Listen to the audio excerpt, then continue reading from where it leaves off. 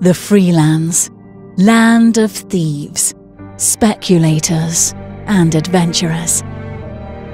The law stays within the city walls. Gangs and slavers rule everything outside.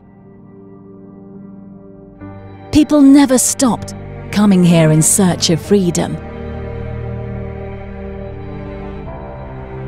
Some got what they wanted, while others lost theirs.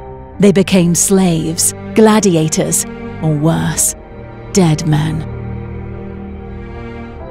But those who are favored by fate, even if they become slaves, will rise again. One day the chains around people's necks will be broken. One by one, forming an unstoppable tide that will swallow everything. And there will be one person standing at the head of the tide, leading its direction.